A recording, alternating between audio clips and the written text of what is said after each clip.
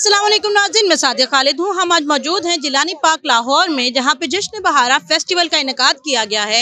यहाँ पे फैमिलीज़ की एक बड़ी कसीर तादाद यहाँ पे मौजूद है। बच्चे, बूढ़े, नौजवान, गर्ल्स, पूरी फैमिली यहाँ पे आपको दिखाई दे रही है। बड़ा अच्छा लग रहा है, बड़ा फैमिली एटमोसफेयर है।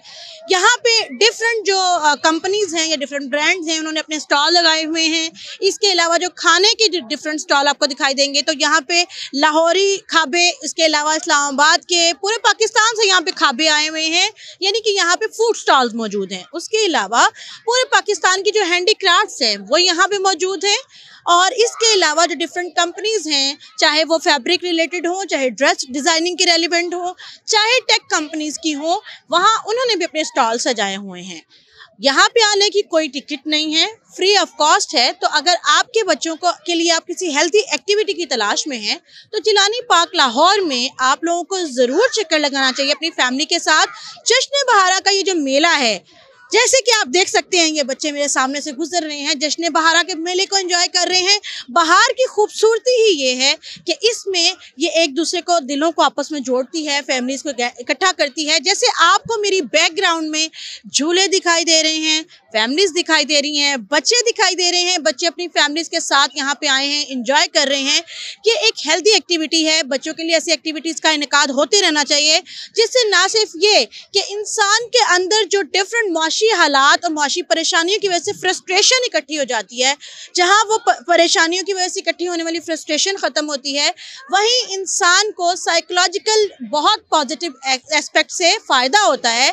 साइकोलॉजी कहती है कि इंसान जब कॉन्टीन्यूस एक ही तरह के माहौल में रहता है तो परेशानी और फ्रस्ट्रेशन का शिकार हो जाता है। सो so, ऐसी हेल्थी एक्टिविटीज़ होती रहनी चाहिए ताकि घर की जो खातन हैं या बच्चे हैं जो एक ही तरह की रूटीन में चलते चले आ रहे हैं उनका माइंड फ्रेश हो सके और वो आने वाली रूटीन में अपने आप को तरताज़ा और फ्रेश फील करने के बाद प्रोडक्टिव माइंड के साथ एक्टिविटीज़ कर सकें।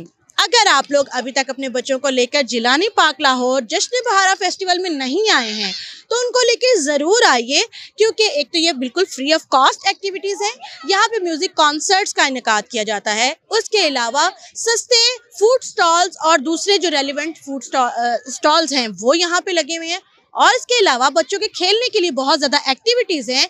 जैसे आप मेरे पीछे बच्चों को शरारतें करते हुए देख सकते हैं सो ये सारी एक्टिविटीज़ अगर फ्री ऑफ़ कॉस्ट मिल रही हो तो ऐसा क्वालिटी फैमिली टाइम कौन स्पेंड नहीं करना चाहेगा? मेरी आप सबको यही एडवाइस होगी कि जश्न बहारा के इस मेले को खूब इंजॉय करें, क्योंकि बाहर के थोड़े से दिन होते हैं और लाहौर में लाहौरी बाहर को इंजॉय कर रहे हैं।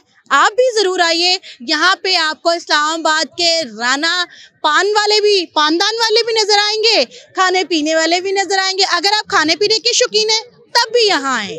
अगर आप शॉपिंग के शौकीन हैं तो भी आप जिलानी पार्क का चक्कर लगाइए। और हाँ अगर आप पान वान खाना चाहते हैं, गोलगप्पे, चटखारे देखना चाहते हैं, या फिर म्यूज़िक कॉन्सर्ट्स फ्री में सुनना चाहते हैं तो देर किस बात की है? जिलानी पार्क लाहौर में आइए।